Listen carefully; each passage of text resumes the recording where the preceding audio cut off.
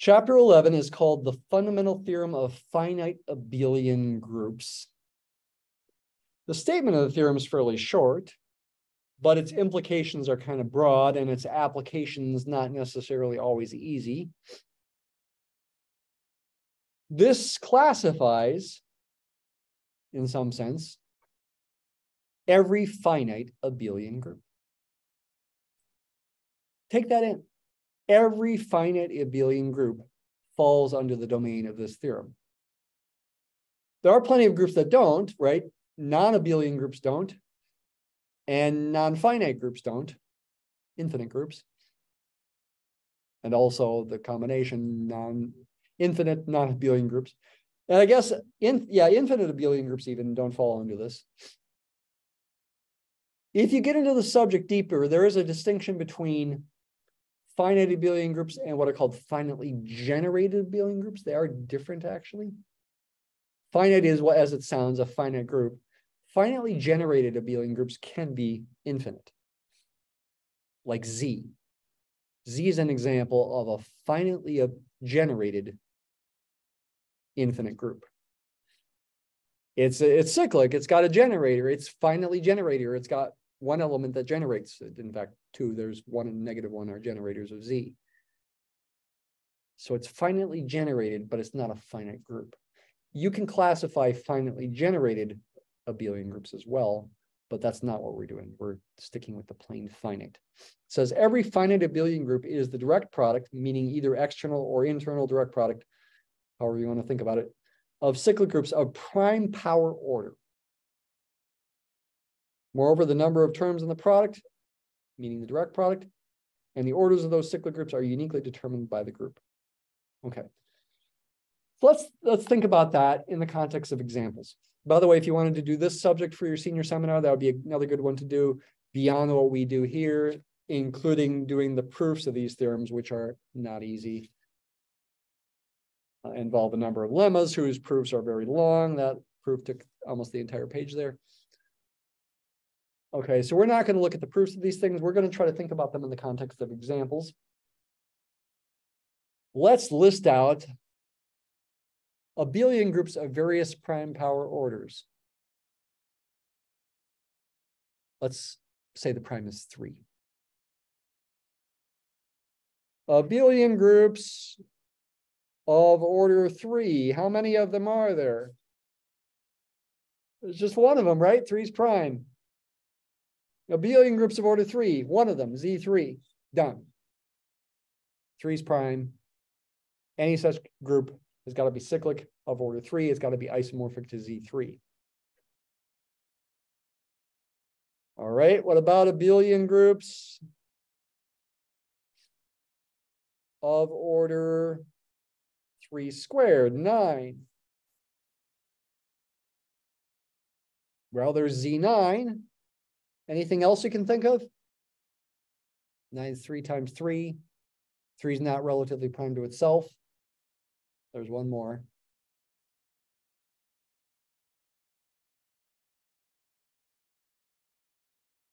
Right? There's that. That's a distinct group. It's not isomorphic to Z9. It's not cyclic because three is not relatively prime to itself.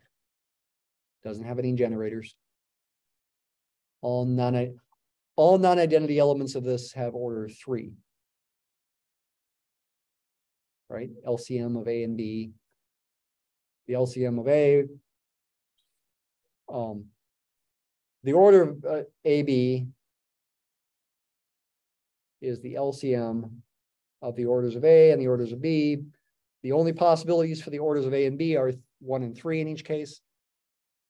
The only LCMs you're going to get are three when a either A or B is not zero, the identity.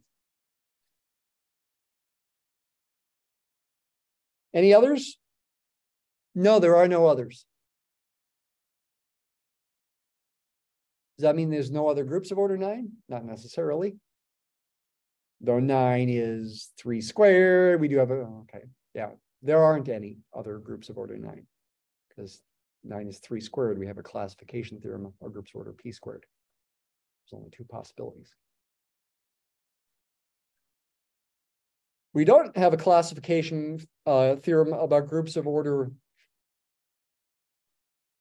three cubed, 27 in general, but the finite, uh, the fundamental theorem of finite abelian groups classifies abelian groups of order 27. Could be Z cyclic, Z27. I guess another possibility must be this.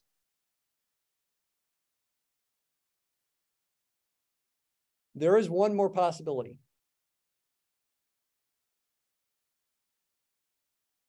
What's the one more possibility? There's a start. What do you think? Nine. What about, okay, so that's the external direct product of Z3 with Z9. What about the external direct product of Z9 with Z3? Well, it's isomorphic to this one, so you don't have to list it, right? We proved that, in fact, a week ago, or is it last Monday? More than a week ago. Two weeks ago. We proved the order of the groups in an external direct product doesn't matter yeah, this is this is all fitting the fundamental theorem of finite abelian groups. We've written groups of the abelian groups of these orders as direct products of cyclic groups of prime power order. Three cubed, each of these is three to the first, three to the first, and three squared. How about abelian groups of order three to the fourth, 81, now it starts to get a little trickier. When these prime powers here get higher, listing out all the possibilities, once you get to four especially, it does start to get a little trickier. You can still do it, but you got to be a little bit more careful. So there's Z81, there's the cyclic possibility. There is the one that's going to have all Z3s in it, four of them.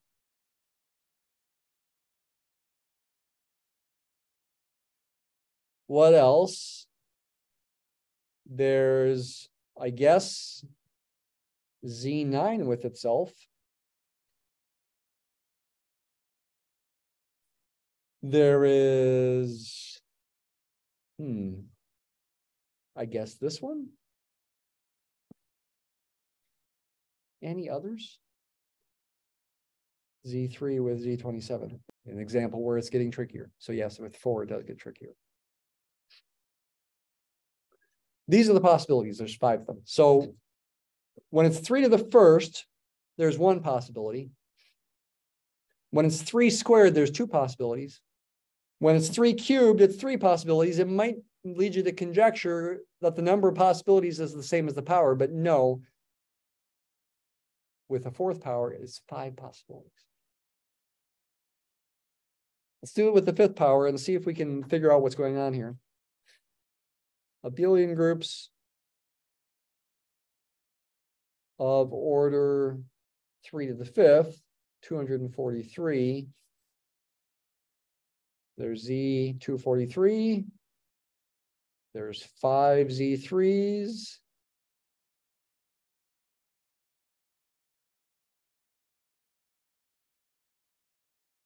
There's what else? There's uh, be systematic about this. There's say three Z3s and a Z9.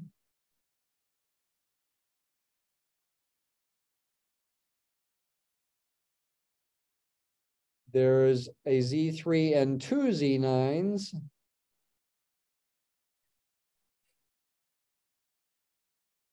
You could also do two Z3s and a Z27.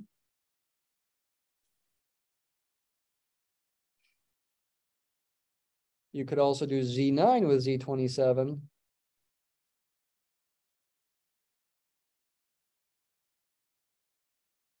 Z3 with Z81.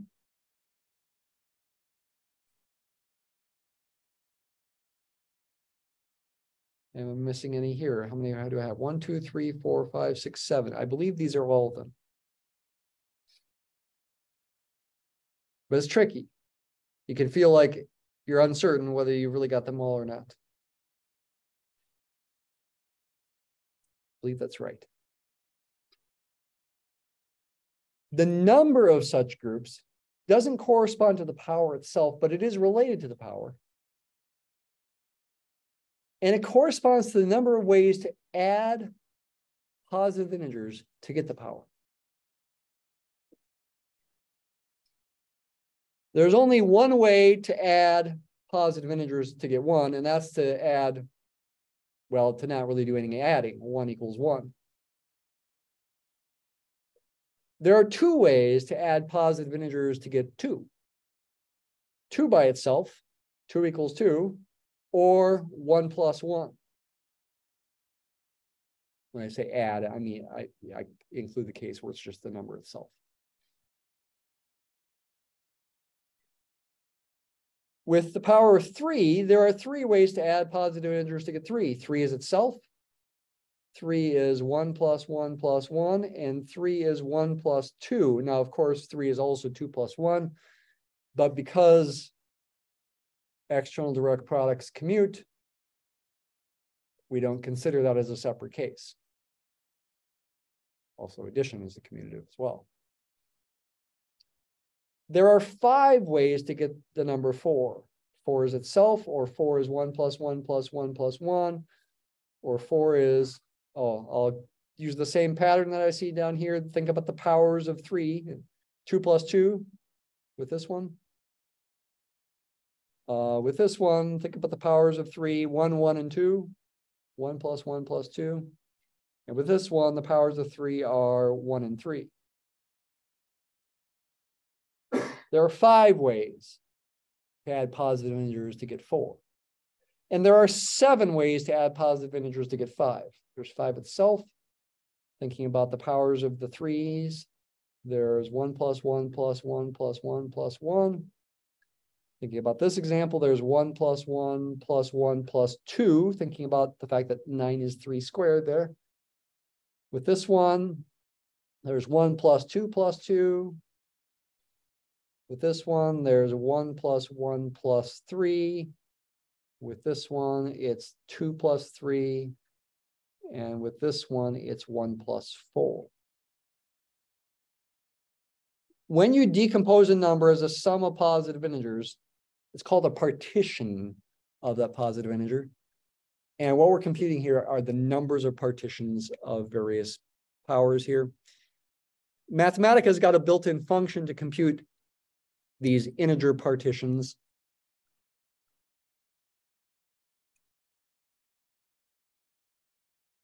And the command is integer partitions, I believe, or integer. Yes, integer partitions of five, for example. There's seven of them. It's writing them as a list. Five is itself, four plus one, three plus two, three plus one plus one, two plus two plus one, three, two plus one plus one plus one, and one plus one plus one plus one plus one. That's a list of lists, and what is its length would be the number of integer partitions of five, and that's going to be seven. This is a famous number theory thing, actually, integer partitions. Um, and this gets big pretty rapidly. The number of integer partitions of 100, for example, is uh, maybe too hard for Mathematica to compute. Let's try a smaller number.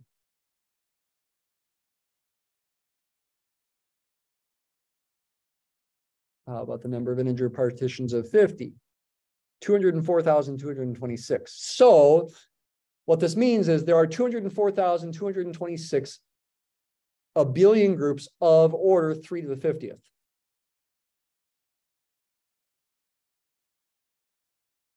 Three to the 50th is that number.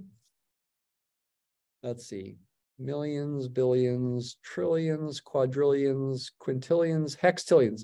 717 hextillion, 897 quintillions, 987 quadrillion, 691 trillion, 852 billion, 588 million, 770,249. Groups of that order, find a billion groups of that order, there are this many of them. Whoa!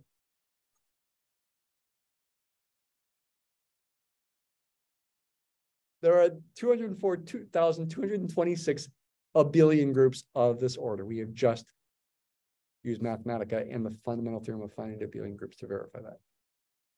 And assuming this pattern really is right, but it is.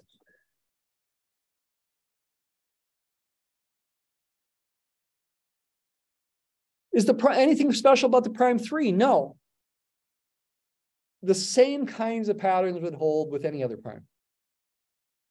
There'd be one abelian group of order two to the first, two, two of order two squared, four, three of order two cubed, eight, five of order two to the fourth, 16, seven of order two to the fifth, 32. Same kind of way, there would be one abelian group of order five, two abelian groups of order 25, three abelian groups of order 125, five abelian groups of order five to the fourth, 625, seven abelian groups of order five to the fifth, whatever that is, 3,000 something. Uh, 3,125. Okay. But what if you mix the primes? How many abelian groups are there of order, say, 2 to the fifth times 3 to the fifth? 32 times 243. 7,776. How many such abelian groups are there? Take the number of abelian groups of order 2 to the fifth times the number of abelian groups of order 3 to the fifth number of abelian groups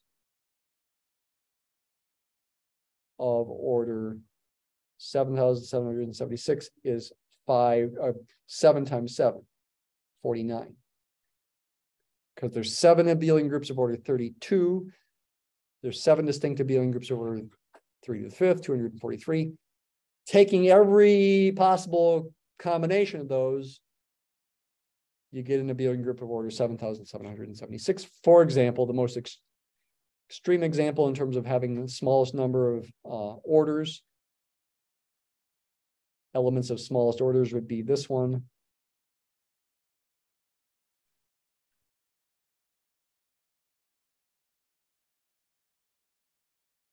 Like that. actually, so that that's a distinct group of order 7,776. It's not the only way to write it because two and three are relatively prime. So you could combine this. You could say this is isomorphic to the external direct product of Z6 with itself five times. And that would be more convenient if you were trying to figure out the number of elements of various orders. But six is not a prime power. So in terms of the statement of the fundamental theorem of finite abelian groups, statement is thinking about this form of it. That's one example out of 49 possible examples of abelian groups of order 7,776.